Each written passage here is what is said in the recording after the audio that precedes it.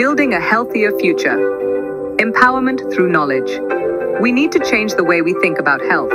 It's not just about treating illness, it's about preventing it. It's about making informed choices. We need to empower ourselves with knowledge. We need to understand our bodies. We need to be active participants in our own care. When we take control of our health, we create a healthier future for ourselves, for our families, and for our communities. Your health.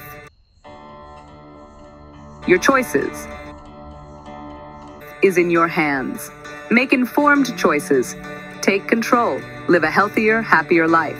Scan the QR code, read my books, and download my app, Dr. Maya, to help you make informed decisions.